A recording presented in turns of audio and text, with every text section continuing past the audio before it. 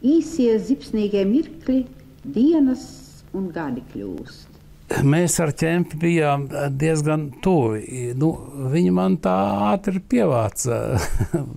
viņa visu laiku meditēja, un stāstīja un atcerējās, ka viņa būdama kādus 12 gadus veca, Liepājā, karostā, kur viņa dzīvoja lielā nabadzībā, ka viņa uzkāpus uz krēsla un teikusi tā.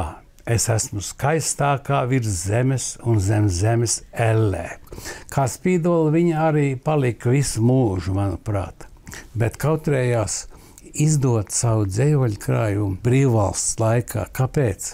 Viņa rakstīja dzīvoļus, bet viņa kautrējās izdot tāpēc, ka viņa bija tik spilgta dzēnieka kā Ēriks Ādamsons sieva. Viņa teica, es taču nevarēju Ērikam blakus rakstīt savus nevarīgos dzējoļus. Un, kad mēs skatāmies to bildi, tad mēs saprotam, kāpēc cilvēks saka, ka tas bija skaistākais pāris Rīgā, kad uh, jaunā Latvijas radiofona diktore un spožais dzēnieks Ādamsons, ka viņa ir šī cilvēka Ādamsons sieva. Vismīļākais, vistuvākais, kad vīla, kas paliek? vaicāju. Tu teici, mīlā. Īstenībā pēc otrā pasaules kara uh, Latvijā dzēja tika sabojāta.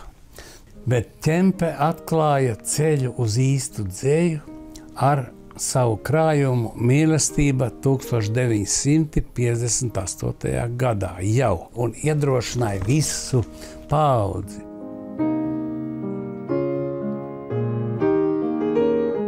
Viņi brauca uz Liepāju, kad mēs vēl dzīvojām Liepājā ar Olafu. No Olafs jau arī Liepājā dzīvoja. Gājām viņu sagaidīt. Katru rītu, kad viņi kā, kā pārā ieraudzījās, mūs teica, sveiki, ērgļi. Bet vienu rītu viņi izkāpa un teica tā. Neteica nekāda ērgļi, bet drūmu vajag un teica tā. Tie cūkas ir apcietinājuši knutu skujenieku.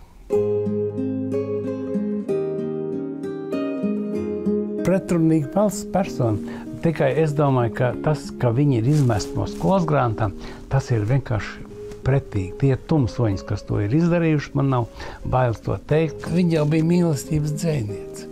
Viņa, viņa jau pārtrauca rakstīt to, ko viņa pēc kara rakstīja. Kad viņai vēl bija bailes, kad visiem bija bailes. Visiem mūsu lielajiem dziniekiem bija bailes. Šeit gribu atgriezties kur veļas bangu dārdi un vējas sauciens nevar rimt. Šai piekrastē, kur bija man kādreiz dzimt, kur atskanēja mani pirmie vārdi, kad pienāks laiks, es gribu zemē grimt. Mēs viņu savādāk, un arī neviens cits savādāk nesaucām kā par dzēnieci. Ja kāds teica, dzēniece teica tā un tā, ja dzēniece ies tur un tur, visi zināja, ka tā ir e, mirdz ķempe. Jāņa Petera atmiņas uzklausīja Māja Amoliņa, Aldis Šembergs, Latvijas televīzija.